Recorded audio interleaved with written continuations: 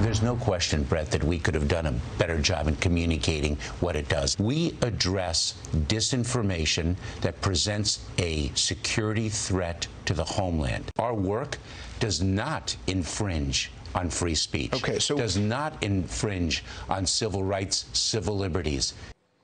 DHS Secretary Alejandro Mayorkas attempting to defend the Biden administration's new disinformation board. But critics are calling it a crackdown on free speech and say the woman in charge peddled disinformation herself. Former Arkansas Governor Mike Huckabee joins us now. Governor, good morning to you. So uh, Alejandro Mayorkas is saying this disinformation board is not going to target Americans. I guess the question is, do you believe him? Uh, gee, in a word, no. I mean, this is like asking, do dogs have fleas? This is the nuttiest thing I think I've ever heard. I, am just stunned. I thought it was satire. I honestly did.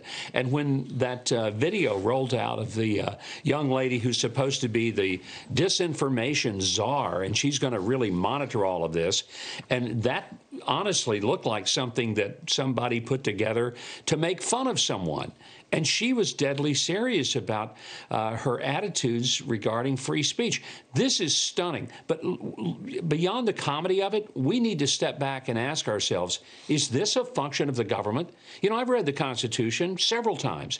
I don't recall a doggone thing in the Constitution about that one of government's responsibility is to monitor uh, the conversations, uh, the writings of Americans, and decide which ones should not be allowed in the yeah. public square. Yeah. This is insane.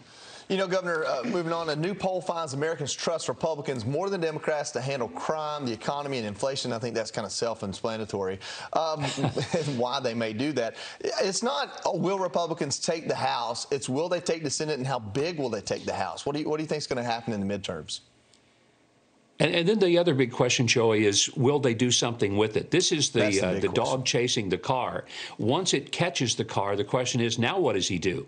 So I think Republicans are going to win both the House and the Senate, but they better have an agenda. They better show up yeah. uh, with a, an agenda to get something done for America.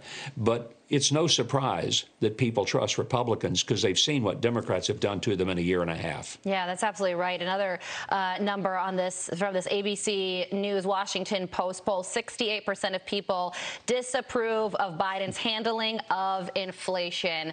Another self explanatory one there when you think of everything going up. In the words up, of Trevor up. Noah, everything's up. Yep. All right. Mike Huckabee, thank you so much for joining us this morning. We appreciate it. Thank you, Carley. All right. You're very welcome.